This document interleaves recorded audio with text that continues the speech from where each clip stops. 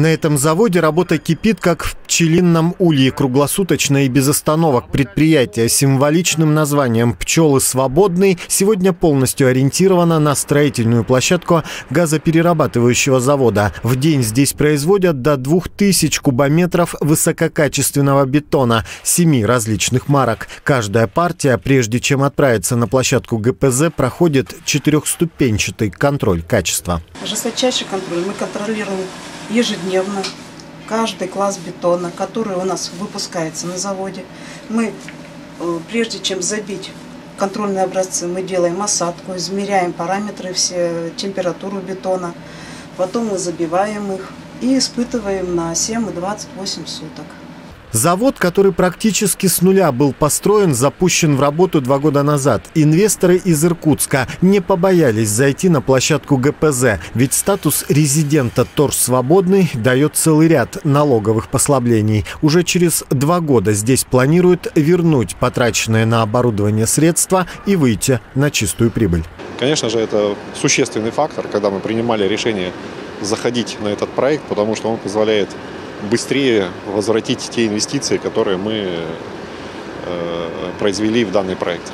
На площадку ГПЗ «Пчелы свободные» пришли надолго. Сегодня завод обслуживает более 100 специалистов, среди которых около 40% это амурчане. Высококачественный бетон будет востребован как на площадке газоперерабатывающего завода, так и при строительстве микрорайона «Северный», который будут возводить для сотрудников ГПЗ.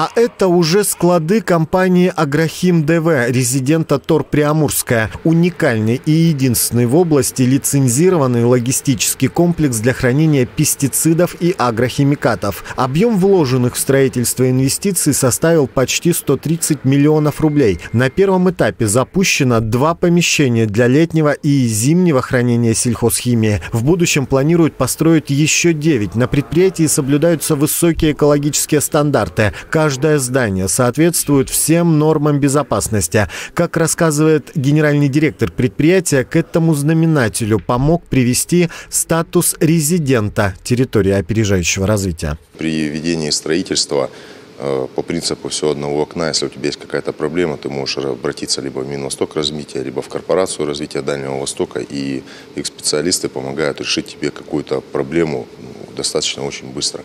Крупнейший в ДФО маслоэкстракционный завод также появился благодаря государственной поддержке и стал одним из резидентов Тор Белогорск. Уже сегодня здесь перерабатывают 800 тонн сои в сутки.